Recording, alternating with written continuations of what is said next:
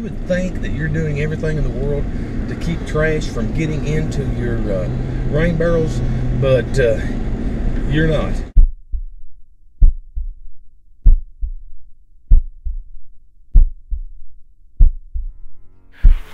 Hey guys, how you doing? All right, uh, this is my um, rain barrel system.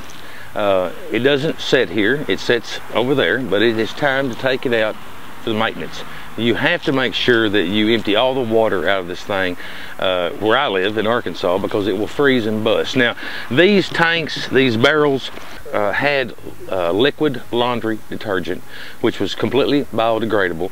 Uh, it is uh, okay because we use this to wash towels for restaurants and, and things like that, that they can use it in food processing. So the, the soap in them has been rinsed out thoroughly, and uh, this system is about three or four years old, so they've been flushed quite often. But uh, since I had it out, I wanted to put it back together and uh, kind of show you. And this way you can see it a little better than I had it in behind a privacy fence area. Now, this is called the first flush system here, this big pipe. Uh, I have a video on this. I may go ahead and show you a few clips in it and uh, how this works. But first off is, is the water is going to come out of your downspout into this thing area up here in this trough. And uh, I also have a screen in that trough to keep mosquitoes out. Um, I did have another cover that went on it, uh, catch leaves, but apparently the wind blew it off and it's gone. I can't find it. So, but anyway, uh, it's just a, a gutter uh, cover. You can buy gutter covers, and that's good. That way, if a piece of leaf comes through off the roof, it hits it, it won't go down into the system, and when it dries, then the wind will just blow it off, and you don't have to clean it. But I, I do clean this thing quite often and get it off there. Um, I just took and strapped this to the wall. Uh, if you'll notice, everything here, this is all two inch, and this is schedule 40. Uh, the reason why I use it is because it's a lot thicker and it will last a lot longer, especially if it's in sunlight. Now, I kept this thing on the north side of the building, so it was in shade all the time, but that still doesn't mean that it's not going to, you know, receive some uh, UV problems. Now, the uh, manifold system on the front is not, but that's because it most of the time has to be replaced each year. But I can I can cut a few corners on that, and I'll, I'll show you that in a few minutes. Uh, the way this works, uh, is inside this larger piece, which is a three inch, and you can tell it, it uh, you know, it tapers out here, and then it tapers back down there. When the water first starts coming off the roof, you're going to have a lot of uh, debris like uh, bird poop and, and stuff like that, just dirt and dust. And that dirt and dust is going to go into this tube here first.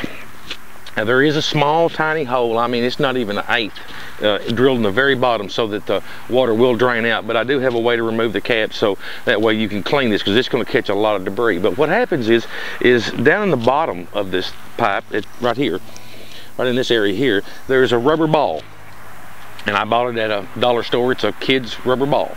And of course it floats. So when the water starts coming in, this ball will start floating up and it floats up as this tube is filling full of that very first nasty water. And when it gets to this point, the ball will stop up the tube which causes the water to divert over here into this barrel first. Now, if you'll notice, this barrel is not hooked to the manifold system. There's a reason for that.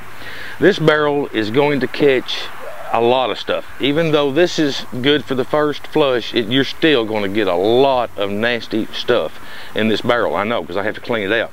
Now you can't see the bottom of this barrel because it has, um, uh, you know, because you're sitting on it, but on the bottom of this barrel, I have a, what they call a toilet flange. I'll try to find a photograph and put it on the screen, but it's a toilet flange, plastic toilet flange, and I mounted it to the bottom because if you go to drain this barrel and get the gunk out of it because it was it was about that deep in the bottom of this thing to get the gunk out of it uh, you're not going to do it through some small hole. You're just going to stop the hole up. So I've got a hole that's this big around and I'll show you. Oh okay. This this part I did not put on because normally these barrels are setting up quite a bit higher guys because you know you don't want your spigot that close to the ground down there. So this goes into the toilet flange and uh, you have this in your home. Most people don't know that but this is under the concrete floor and you don't see it. So this goes in the toilet flange and then this portion here this cap unscrews.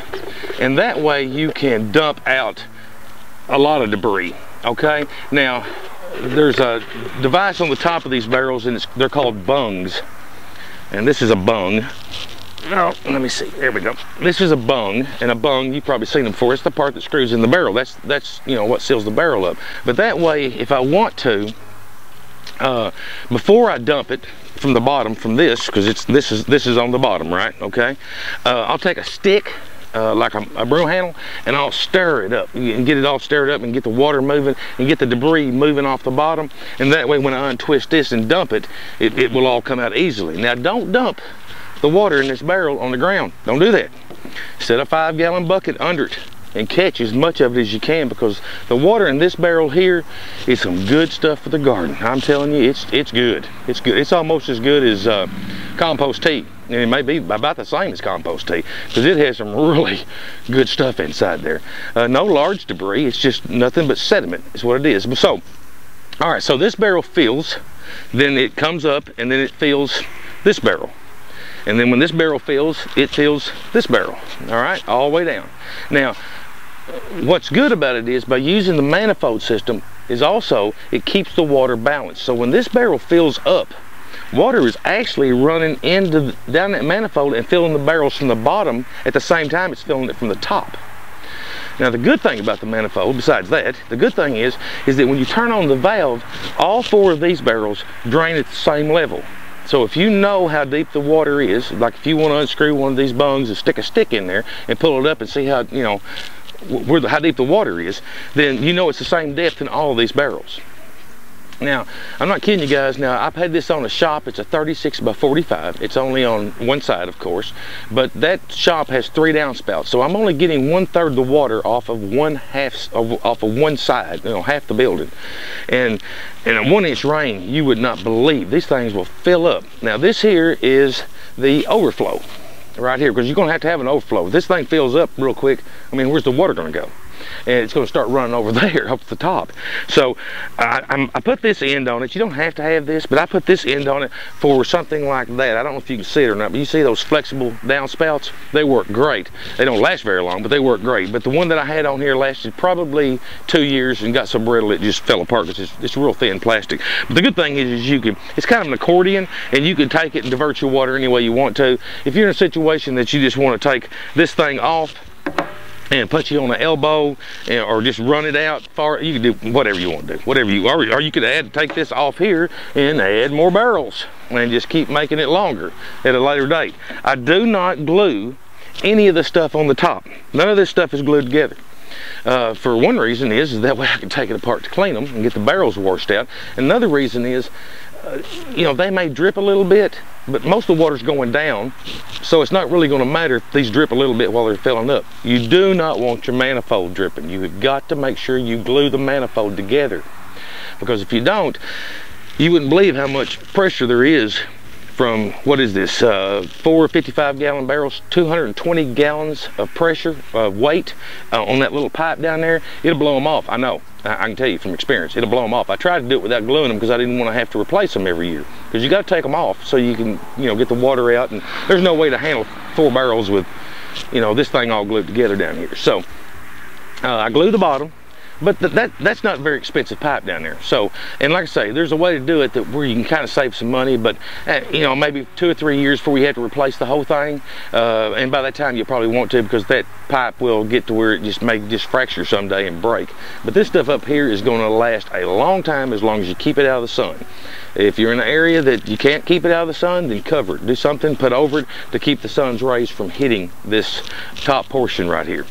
Now, let me get the camera and I'm gonna move it closer so you can see what I'm talking about on this manifold. Okay, now, here, when I first tried this, here, I tried just taking and cutting a smaller hole. This, this um, fitting here is threaded but this pipe is still thin enough that it just really didn't hold very well so I went ahead and used an epoxy uh, glue to glue these in which is fine uh, but what you can do is this instead of just you know cutting everything off and throwing this away and redoing it what you can do is you can cut right in the middle right here and then when it's time and then you're separated you just save this part keep it back and then you can just buy you a coupler and put you four couplers in, in here, and all it's going to do is just extend the pipe out a little bit farther. You can do that. Uh, if you wanted to, you could cut it here and cut it here and put couplers here. So you can keep adding couplers, and you, that way you don't have to buy the whole fittings uh, every year. Okay, also guys, uh, one other thing too is, is I took and uh, I put these um, numbers on it. Uh, like I say, this top portion is not glued together. Now this is the back side of the rain barrel system.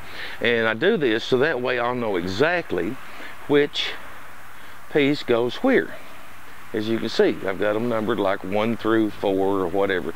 It just makes it so much easier because some of these are you know shorter than others. And also I have a height thing going here so that this is running downhill. You might notice that this one is quite a bit taller than this one the last time that I did videos on this, I got lots and lots of questions about, you know, measurements and, and all this stuff. And I'll be honest with you, I can't tell you how much I spent. It's been so long, I don't remember. Measurements are really going to depend on you. Uh, what I did was is two inch pipe. And as you can see, I've got, you know, I don't know what I've got. I got one, two, three, four. I got five two inch tees. Now remember, this is schedule 40. That's the thick stuff. I got one, two, three elbows, two inch elbows. And then I've got these that screw into where the bungs go. Now you gotta watch this because one bung has, has one thread and the other bung has another type of thread and you gotta buy the right one, but it's a two inch adapter that the pipe just fits in and screws into that. Uh, so there's what, one, two, three, four, five of those. Uh, this was something additional. Uh, I don't really remember what exactly it was used for in plumbing, but it, it's not necessary. You don't have to have that end right there. I can't remember how much pipe I bought. I did buy three inch. All right, so I've got two adapters. I got a three inch, uh, two inch to a three inch adapter. Uh, you do not want to glue at least one of these. I got that one down there glued, but you don't want to glue this one because you got to be able to take it off to get it out, to be able to get the trash and everything out of it. I'll try to like I say, put the view of the video of how I built the bottom portion of it. I've got one that's got a pretty good angle, shows me taking it apart. It's laying down on top of a fence, and I'll try to show you that, uh, how that uh, ball system works. But you pretty much can figure, figure out how it works. Now, one thing you do want to watch for, and, I, and especially where I live, I don't know about you, but mosquitoes. And larvae will definitely start laying in these barrels but I do have screen at the top on that, on that end of the pipe. There's screen at the bottom on this piece of pipe, and I don't have any screen on these because it's not necessary. And I did have a screen going uh, on the end of the pipe that came in here. So I thank you guys so much for watching, and uh, hope to see you again real soon.